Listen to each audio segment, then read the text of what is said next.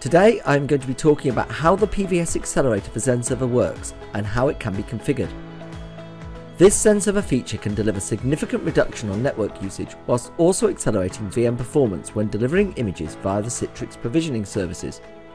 This can be particularly effective during boot storms, reducing network load by up to 99% and reducing boot times by 5 times.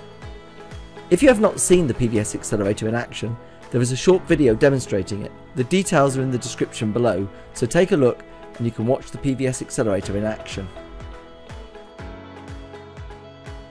Citrix Provisioning Services, or PVS for short, is a mechanism for delivering OS images across a network.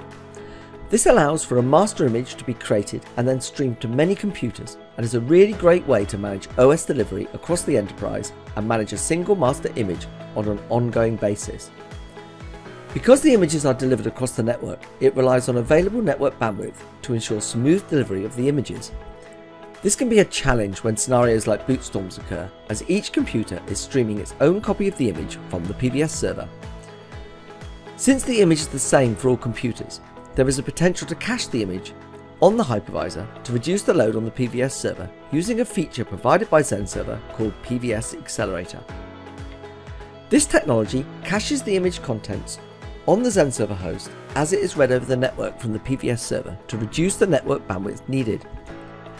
Once data is cached, subsequent reads can be satisfied from the cache rather than having to go all the way back to the PVS server. This technology is provided as part of a supplemental pack for Citrix Hypervisor 8.2, but is now built into XenServer 8 by default and is a really easy thing to use and configure. So that's great, but what is the configuration management overhead for using the PVS accelerator? Well, let's take a look. First, you need to create the cache on the XenServers to do this, you can use Xen Center to view the host or pool that your XenServers are located in. Then, select the PVS tab in the right hand view and choose to configure the PVS accelerator. Now add a cache configuration to use memory for the cache and create it. You will need to make sure you have allocated enough memory in the host to use for the cache. You can view the full documentation available on xenserver.com to see how to achieve this.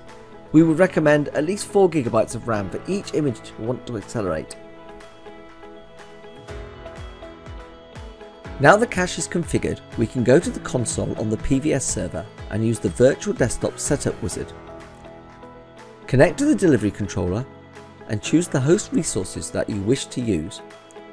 Provide the password to the Xen server so it can log in.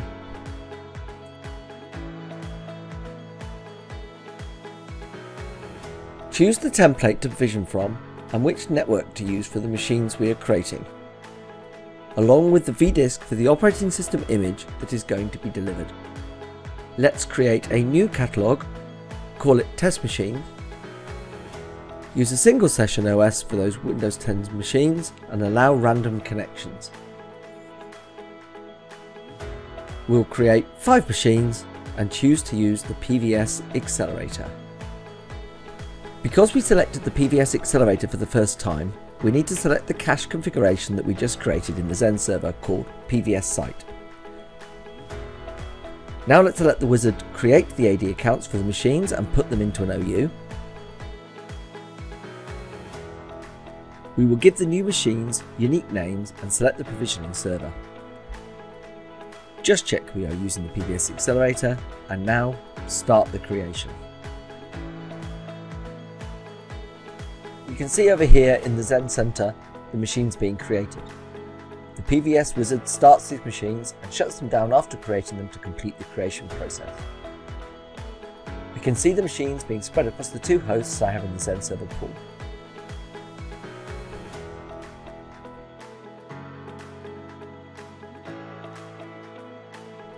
Now, if we look in the PVS accelerator details, five machines are created and accelerated using the configuration we specified.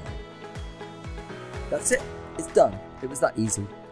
These VMs will now cache the PVS images into the Xen server RAM, making sure that as the VMs boot, they read from the cache and do not need to read from the PVS server across the network, ensuring that there are no unexpected heavy loads when the VMs are starting and reducing the continued load to provide a more flat and predictable load characteristic on the network. For full details of the PVS Accelerator and how to configure your hosts, you can check out xenserver.com. And if you want to try it out yourself, why not head over to xenserver.com and download the free trial edition.